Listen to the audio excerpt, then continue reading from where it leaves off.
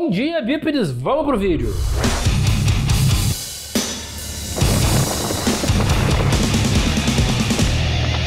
Eu e meu marido não começa com bom dia, boa tarde, noite, foda-se. Cuidado, cadê sua educação?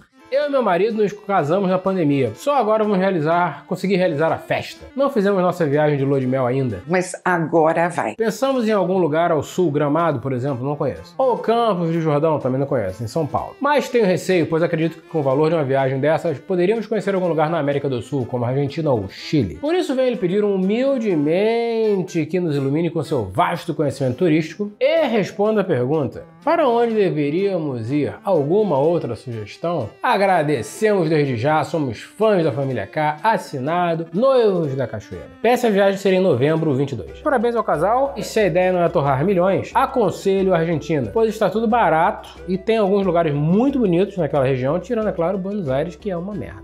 E os colectivos em Buenos Aires. Ah, não, este é um caminhão são desta forma, viste? Ouvi falar, inclusive, da existência recente de um voo São Paulo-Ushuaia. Vai até São Paulo, pega um aviãozinho Ushuaia. É melhor você esperar no aeroporto em São Paulo do que você esperar um dia inteiro em Buenos Aires. Vai por mim, é melhor. Se for pra Argentina, vai logo, porque o país tá acabando. Se você levar uma nota de 100 dólares, você compra metade da cidade. Reza a lenda que o Chile também tem lugares muito bonitos. Eu não posso te dizer com certeza, porque eu não conheço, nunca fui. Agora, tenta não enlouquecer, tipo, quero conhecer o Atacama ficando no Explora. Vais morrer numa grana louca. Tá? Vai sair uma fábula. E é claro, se a grana apertar total completamente, sempre teremos aqui a bucólica, a queridíssima, nossa amigona, nossa ilha particular, sempre teremos Paquetá para os amantes com maiores restrições orçamentárias.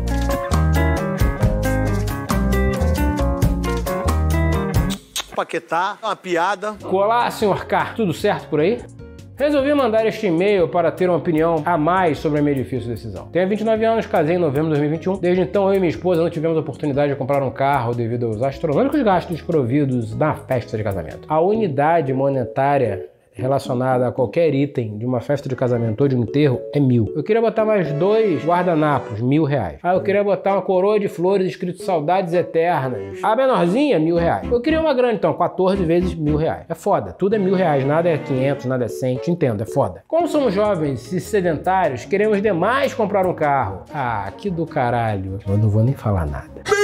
Aí que entra o dilema. Desde pequeno, sempre fui apaixonado por carros sedã, sonhando acordado com um belo Chevrolet Omega, caralho, CD 4.1, teto solar, todo preto. É aquele que não pode parar na, na, numa blitz da polícia que rola um baculejo. A PM desmonta o carro inteiro porque certamente tem merda. Ok. Desfrutando de todo o luxo que um absoluto carro dos anos 90 disponibiliza, sem falar da diversão que ele pode proporcionar pela fúria do seu motor de seis canecos. Inclusive, já cogitei comprar a sua versão alternativa SW Pegua, mas seu preço é muito mais elevado. Sabe que é muitos e muitos anos. Tô falando 700 anos atrás, né? Tinha um pessoal que ia pra frente do autódromo, que só tinha mato, não tinha nada, não tinha casa, tinha nada, era vazio total e completo, e eles ficavam girando com o carro. Uma vez eu vi um cidadão girando um carro caro, sedã nacional, tração traseira. Aí o cara tá lá girando, girando, girando, girando, girando, girando, girando pá, explodiu o pneu.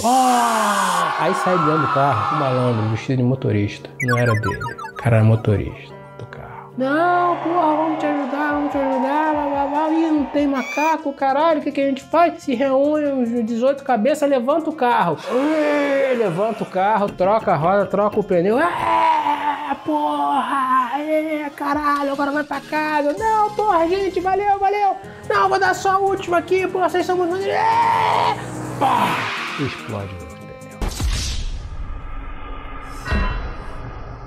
Enfim, minha digníssima esposa, por sua vez, gosta de carros pequenos, já falou várias vezes de até adquirirmos um Uno, que não é exatamente um carro, um Fusca, que tá quase lá, ou um Gol, que é um carrinho. Carros populares que em qualquer morro precisa de um guincho para levar. Um guincho para levar na subida, na ladeira, é isso? Deve ser. Toda vez que ela menciona esse fato, meus ouvidos sangram e dói meu coração. Entramos no impasse e não decidimos nada. Venha humildemente solicitar sua ajuda nessa situação. Ela assiste seu programa comigo. Peço que ajude a convencer minha querida esposa que é uma aquisição certeira e possamos sangrar as BRs do Brasil com muito estilo e potência. Atenciosamente, lasanheiro de ferro. Isso é uma vontade de se meter em merda que parabéns, meu amigo. Porra, parabéns demais. É um carro que tem pra lá de 20 anos. Mais um pouquinho você vai ser placa preta. Tá maluco, caralho? Um carro que deve fazer o que? Uns 5 km por, por litro na descida, na banguela. Quanto é que com a gasolina, com o preço que tá hoje, por favor? Carimbinho de ideia de merda.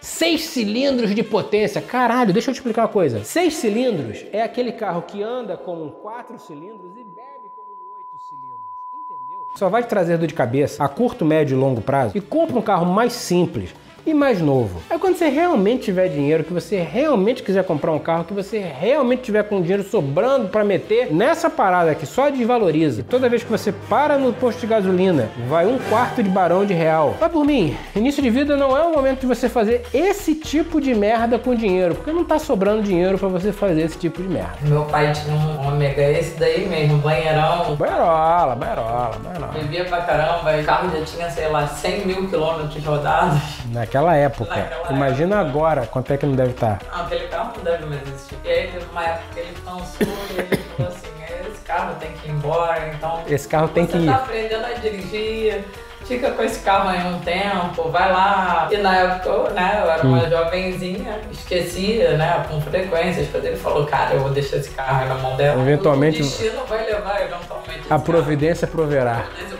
E cara, esse carro não ia embora de jeito nenhum. Teve uma vez que eu esqueci o carro aberto num estacionamento de rua e o carro não foi. Tem uns carros que são irrobáveis, porque o cara olha e fala: Eu não preciso dessa merda na minha, na minha vida, eu não preciso desse problema na minha vida. Eu já tô no erro, eu já estou sendo procurado ainda, vou roubar um Omega? Tá maluco? Eu não vou lhe dar satisfação de ser roubado pela gente, não, seu vacilão. Boa noite ao mestre dos magos, os Mavericks V8, Dodge Chargers, RT brasileiros e Opala SS. Cara, e vi um Opala SS aqui no condomínio, inteiraço, maluco, originalzão, com tudo cromadinho. Puta, que coisa bonita, cara, que coisa bonita. Excelentíssima Ruiva companheiro de caminhada Noronha. Venho com uma dúvida sobre Stranger Things, quarta temporada. Foi incrível por ter tocado Metallica. E também por ter carros antigos anos 70 e 80. Minha dúvida é, por que eles não colocaram uma bomba atômica ou uma bomba nuclear no Upside Down? Isso resolveria ou não? PS, Sr. Kai Ruiva, qual a música salvaria do Vectra? Salvaria do Vectra.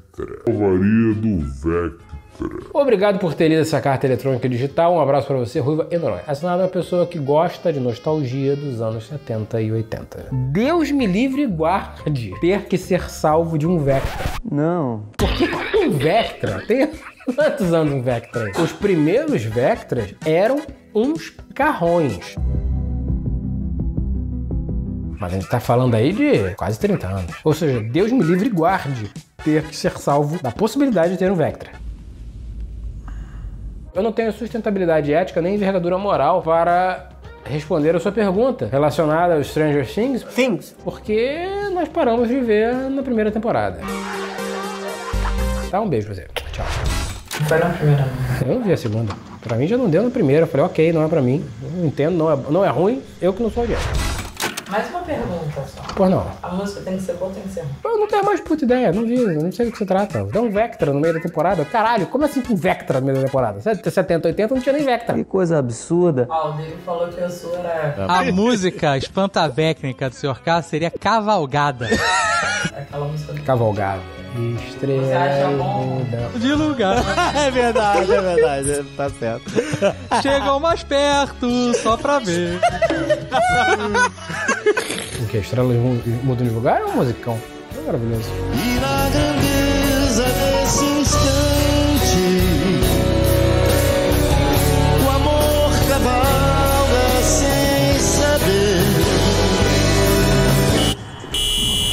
você está morrendo que nem uma flor.